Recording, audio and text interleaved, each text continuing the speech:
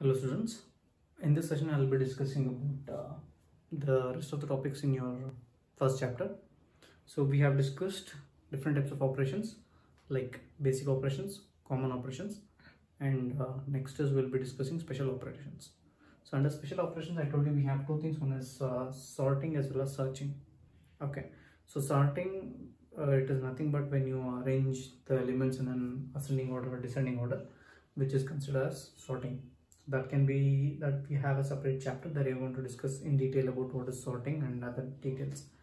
Coming for merging merging is when you combine two data structures into one data structure then it is considered as merging.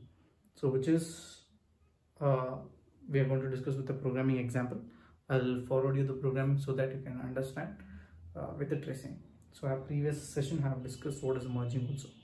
So the rest of the topics what we have in this session or that we are going to discuss in this session as a simple definition called as what is ADT. Okay, so ADT stands for abstract data type.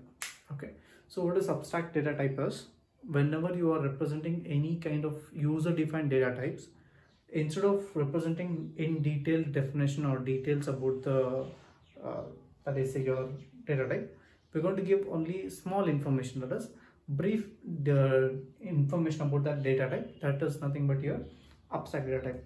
So for this i'm going to explain just simply one type of uh, uh, linear data structure that you have which is stack. So we're going to study in detail about this later. So stack is a linear data structure. When i say linear data structure it nothing but the data will be stored in an order. That is one after the other. In a sequential order we're going to store the data. That is why it is called as linear data structure that this topic we have discussed in uh, data organization of data structures. Organization of data structures under which we have also discussed uh, different types of data structure where we have uh, linear and non-linear. So under linear we have many types. One of the example is your stack. So what is stack? Stack is a non-primitive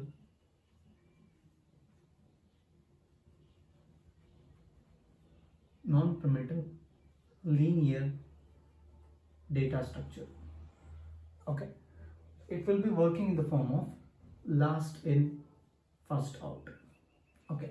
So it will be working in the form of last in first out which represents the data whichever inserted at the last will be deleted the first.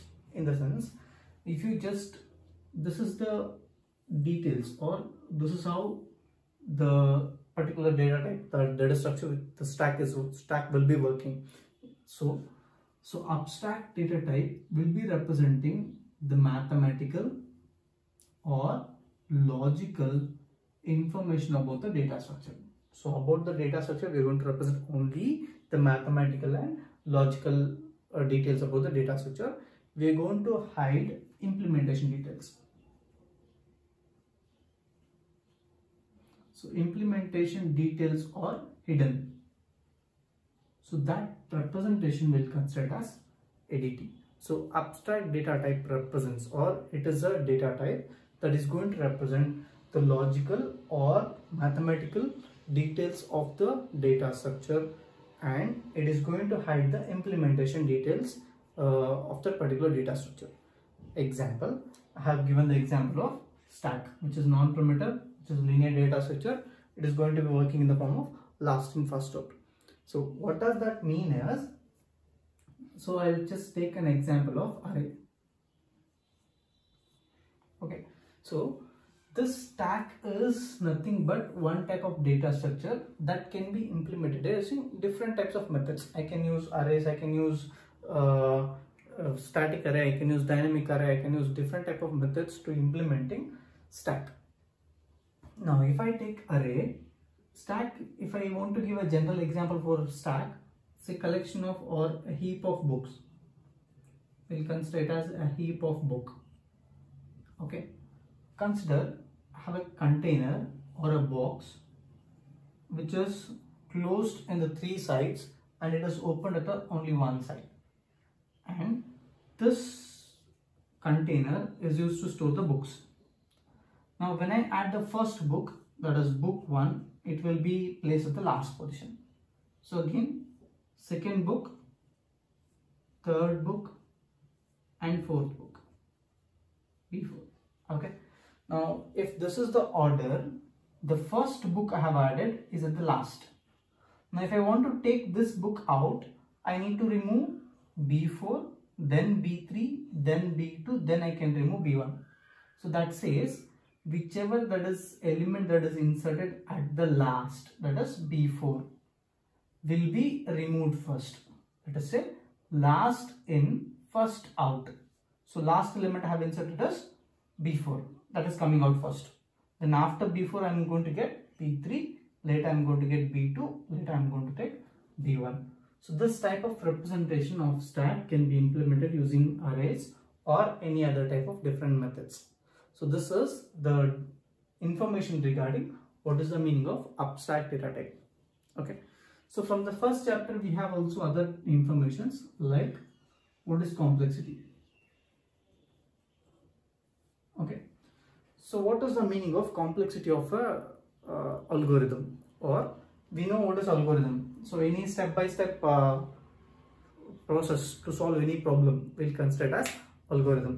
Now, what is complexity is for every algorithm for its execution it takes some time and it's some memory. So whenever you write any program any program that you're going to write or whenever you write any algorithm so that algorithm or program needs some memory space for storing data and it also needs time for execution. Okay so the measure of this time and memory that is required for execution we consider as complexity.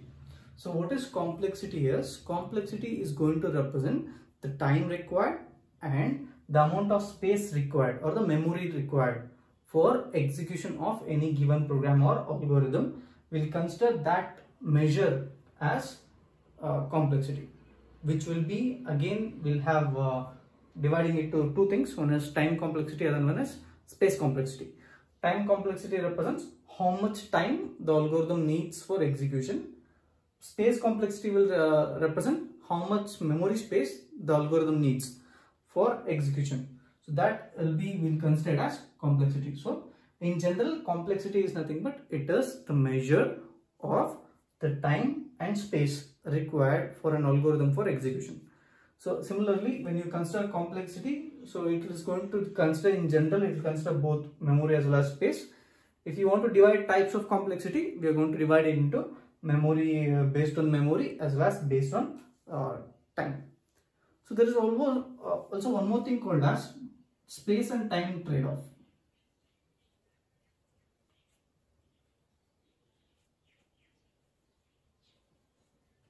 What is the simple concept called as space and time trade-off? What is space and time trade-off is? Say for example, if I have 100 elements. If I have 100 elements in an array, I have 100 elements in an array. Okay.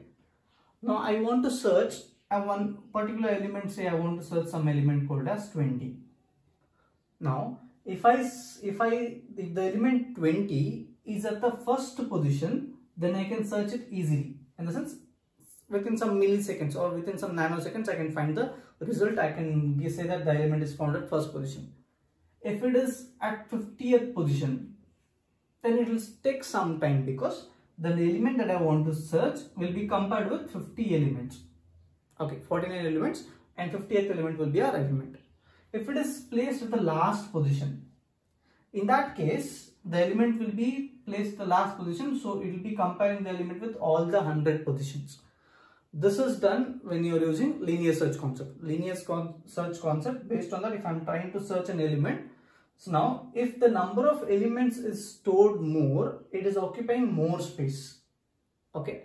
So since it is occupying more space, it will also consume more time. If it is having only less space, say I have only three elements, uh, 20, 5 and 16. In this case, searching this element will be very, easy. It can be at first position, it can be at third position, it doesn't matter. So it, it is very easy to uh, search. Okay.